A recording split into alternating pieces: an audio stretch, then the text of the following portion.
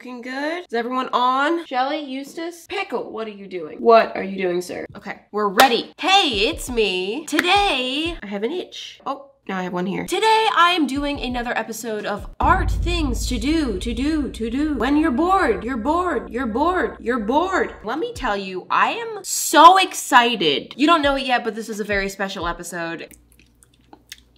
I have things to show you. My jaw just cracked. Could you hear that? I have some different activities that you can do when you're bored. Art, craft, DIY, creative activities. That's the blanket or the umbrella, whatever. The point of this series is, well, to cure the state of boredom. There is no reason that a person should become bored. I haven't been bored in months, possibly years, because there are so many things to do. Boredom, we can eliminate it together. I guess we should get into the activities. Cue the clipboard. I have my handy dandy clipboard specifically for this series and a blank piece of paper. You don't lick Sharpies, that's not what we do. Okay, idea number one. Turn anything into cake. I like it. To turn anything into cake, the first thing you need is something, anything. I have chosen this box. This is just a little cheapy box from the dollar store. I customized one of these a long time ago. Where is it? Mm, do you remember this? Probably not. Look at that, same box. Oh, I put my little signature on the inside of the lid. How cute am I? This is pre-gessoed so that I don't have to sit here and gesso. I'm trying to save you from having to watch me gesso. Yet another item what do you mean you wanted to see me gesso? This is kind of an unimaginative item to choose because like it's kind of in the shape of a cake. I could have chosen any item. Like I could have chosen a shoe, a hairbrush, a chapstick, a but first what I wanna do is decorate the box. So I'm just gonna paint it. I need a palette, a nice little paintbrush, a lovely luscious chocolate color. It's my paint. My paint. Look at that. Just apply this on the box. I'm just gonna go up to where the lid ends because I don't want the paint making it hard to put the lid back on. Okay, and let those dry. And I'm gonna go get a sandwich. And go pee. okay, hi, I'm back. My sandwich was an incredible experience. My pee went well too. And this is dry. It's gonna need another little coat of paint. My paintbrush. Huh, why am I not using my rainbow paintbrush? Let's continue with coat number two. Oh, it's getting so appetizing. All right, I got my chocolate box. Very chocolate. And now I'm gonna add some details to make it look a little bit more cake-like, like a white layer of frosting. So I'm just gonna keep going, decorating this all around except for the top because I have special, special plans for the top.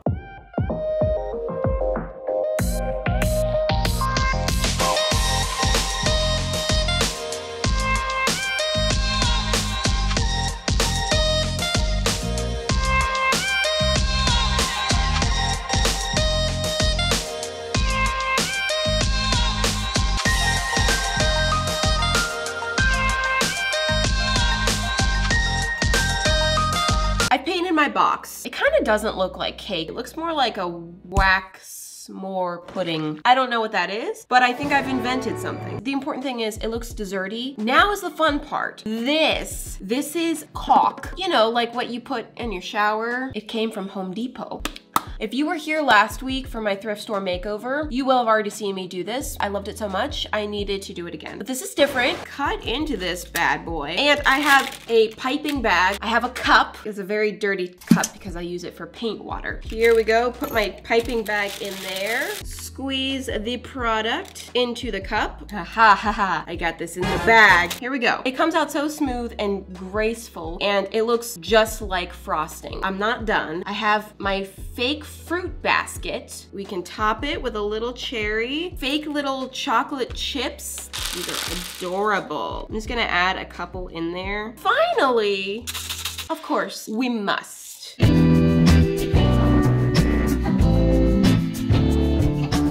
There it is. Okay.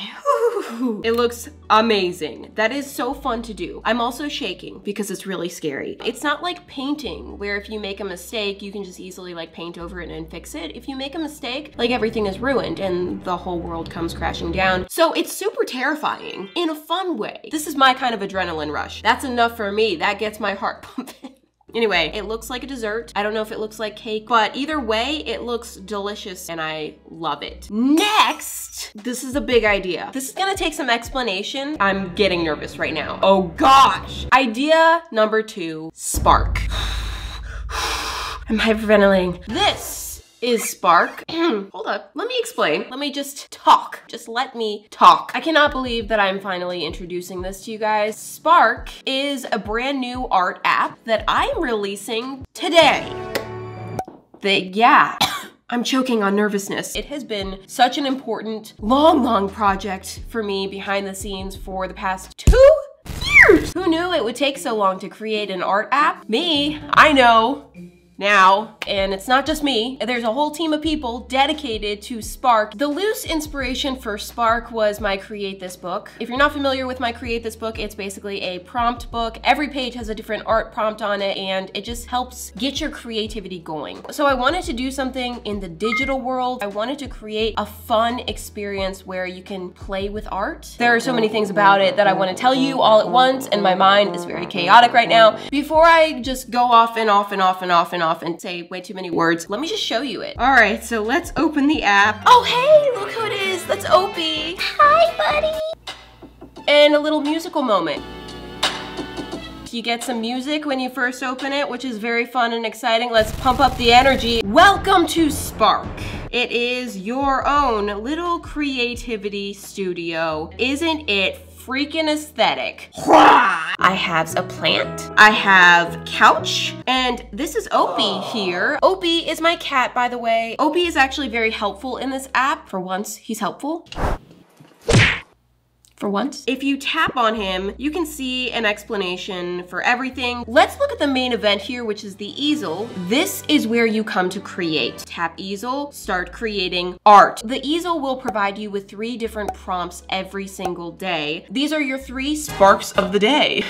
Isn't that fun? Are we having fun? Now, one of the really special things about Spark, there's a whole community aspect of it. The inspiration gallery is where you get to see the art from other people using the app. So cool. Currently, this is just a small community of people who are helping to test the app, but of course, once this video comes out and everyone knows about Spark and starts downloading it, um, better download it. This community is gonna get a whole lot bigger. And then you've got my gallery right in the middle. Hi, I'm here, look at me. Yeah, that's why that's there. These are some of the accounts that I'm currently following. People are making some amazing things. Look at this, it's freaking beautiful. If you tap on somebody else's artwork, you can see what spark they got. Tap on the spark and bam, you're ready to create your version. Let me take you to my personal gallery. And these are all of my creations that I've made. Oh my gosh, I'm so proud of them. Oh, they're so pretty. They're so pretty. This one, for example, you start with image of a tree, and this is what I did with it. This is one of my favorites, Venture Under the Sea. I created Pickle as a seahorse.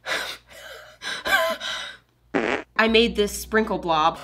cool. Draw a dancer, this precious little girl, sketch the night sky, draw an alien, create a bouquet. I don't know why a toad with a bouquet growing out of its head was my first instinct, but she lives. This is one of my favorite ones. I love that toad. I think it's finally time to actually create stylus out. You can just use your finger if you want, but for me, a stylus is so much easier. You get a lot more control. You can do a lot better details. I got it in a four pack on Amazon. They're like $3 a piece. Going into the easel, create a best friend. Yeah, let's go.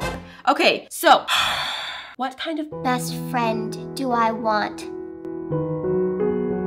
Someone who's soft, like a cloud. But I also kind of want it to be a cat. A cloud cat? You know what? I'm gonna throw a background on here. What should we do? I like that one. I gotta sketch this and figure out exactly how I want this guy to look. Hmm, yeah, that's it. There's this little cloud body. Oh, it's so cute. I think there needs to be like a light ray under him to show that he floats everywhere. That's how he gets around. He doesn't walk like a cat, he floats. Just drop the opacity of this yellow. Create a little beam of light. That's fun. A phone is a small screen to create on, so you can click this little button here and you can zoom to give you a lot more control. And then when you're done, zoom and you're back. Now, if you know digital art and you've used something like Procreate before, Spark is not Procreate. It's not supposed to be like Procreate. I love Procreate, but it is a serious art tool. Spark is simple. You're not gonna make the most complicated, realistic art on here. This is where you come every day to get little bits of inspiration and little bits of creativity. It's more just about the experience of being creative. Art doesn't always have to be about making the perfect masterpiece. This app is for anyone and everyone who enjoys being creative. This is where art is just for fun. Okay, here he is, the ultimate best friend, plus soft as a cloud. And oh, let me not forget the whiskers. Y'all get very upset when I forget the whiskers. I don't know what this is, but I love it. I am gonna name him Fluffy Buddy, which I have placed right here. I feel like this needs to be a whole species like the fluffy buddies, cloud animal hybrids, and they are the ultimate comforts for human beings. We need like glitter and lights. I'll just add this. Ooh,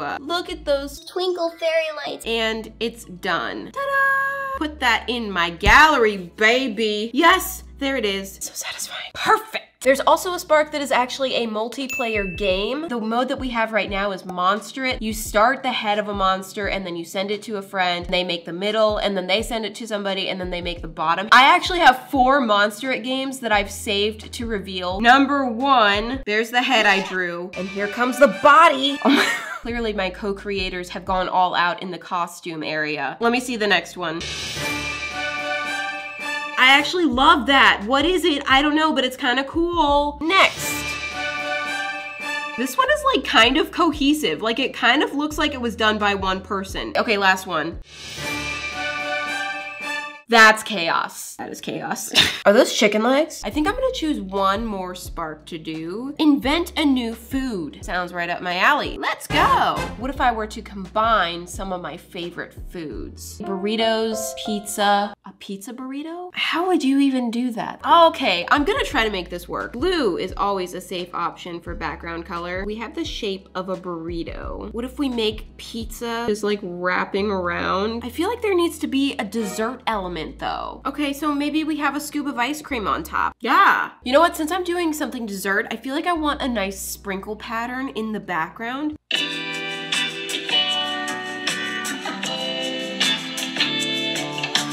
The sprinkle song plays when you use the sprinkle pattern. Just for fun. There we go. Okay, let's make this atrocity happen.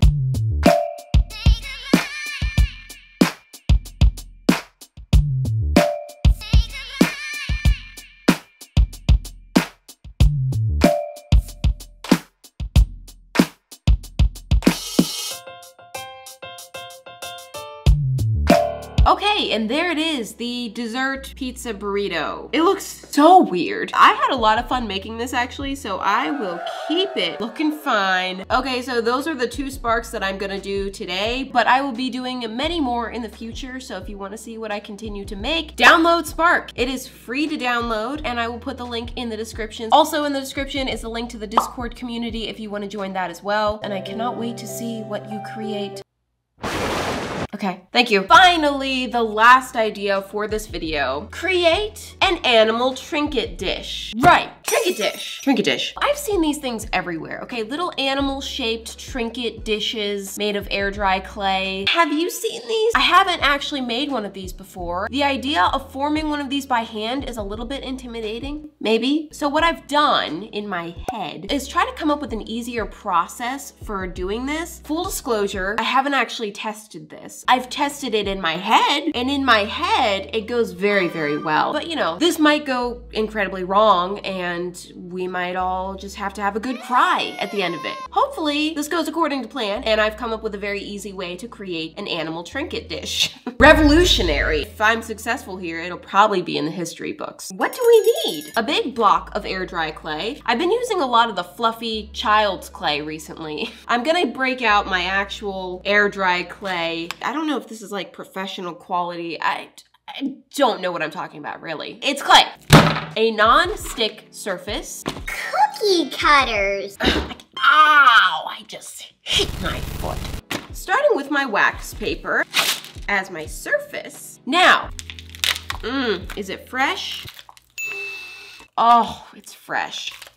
It has that clay smell like creative dirt. Big, fat cream cheese. We're just gonna get like this amount. I feel like a rolling pin might actually have been beneficial here, but I hate rolling pins. They just never do the thing. I think I might need more clay actually. Scratch that, it's not this. It's this. Got it? Just squash it down. I'm starting to wonder, is this gonna work? Once I've gotten it kind of even and the thickness that is good. I got this set of animal head cookie cutters. What do we have here? We've got the heck is that? Looks like a little girl with pigtails. A bear. I like how big and round the cat one is. Take the cat and just go ahead and cut that cookie. Remove the excess. Hopefully this doesn't stick. Okay, perfect. Alive and well. Now for the trinket dish, obviously you need like little walls, so it's a dish. So this is where my vision for the process gets a little fuzzy. Okay, I think I'm just gonna roll out a big clay snake to go completely around the shape. Take our cookie. Where are my clay tools and I'm just gonna score around. Score along both pieces. That is the official recommendation. Take a little water and just push the edge onto the dish. Cut the tail off. Now from here, I'm thinking I can just kind of like smooth these pieces together. Is this working? And then you can always use the cookie cutter to kind of check your shape. You know, check if you're getting a little wonky because that can happen, you know, because I've done this so many times. I just know. I think it's kind of somewhat working. I kind of want it what the heck, Georgie? I can't really save you right now because I am covered in clay. I'll pick you up later. All right, flip that around. What is happening? It's eating my wax paper. Look at this. Now that I think of it, I don't think I've ever actually seen the process of somebody making one of these trinket dishes. Like I've only seen the final result. So I really don't know what the standard process is. Like this could be stupid. what if this is harder than it normally is? Does that even look like a cat? What have you become? I don't even know you anymore. It's actually actually not the worst. It's looking very trinket dishy. Did my cookie cutter idea make the whole thing easier? I don't know, because I've never made a trinket dish before. So trust me if you'd like. If not, I don't blame you. Either way, this was kind of fun. I'm gonna set this aside and let it dry for many hours, possibly a whole day. I'll be back when it's dry.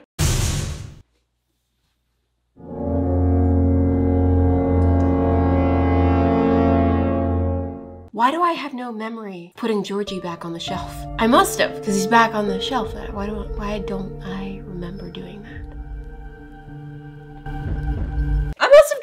Forgotten. Hey, I'm back. It's been drying for about 24 hours. You mean that this is the next day? Here's the scandalous behind the scenes truth. Most of my art things to do when you're bored videos take me multiple days to film, and I just keep putting the same outfit and makeup back on to make it all cohesive. Cool. What do we think about it? Because uh, if we're being real, it's rough. I know it's a cat, but rough. I mean, I know the handmade look is kind of in and it's like rustic and fun, but um, this is like next level rough. This is like prehistoric roughness. I'm hoping that with a cute paint job, we can make something of this. Let's do it.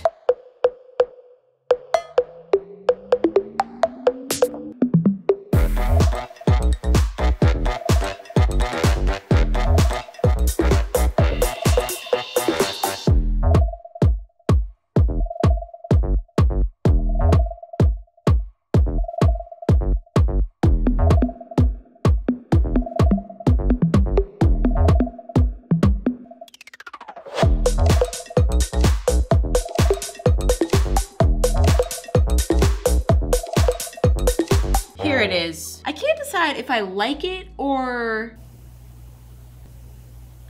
I don't like it. The way I drew the pupils is kind of weird. Like I should have just drawn them circular even though cats do have like elongated pupils. Maybe if I just fix the pupils. Okay, so I decided I couldn't live with those pupils, so I ended up actually fixing them. It's still really wonky, but at least the paint job I'm much happier with. Okay, so those are all the art things that I have to show you for today. I think I got a good mix of stuff. You know, I did clay, I did painting, I did digital art. I'm so excited that I finally got to introduce Spark to you. Please don't forget to download. It's such an important project and I really hope that you guys get to have fun and experience it. Thank you so much for watching and I will see you guys next Friday. Bye.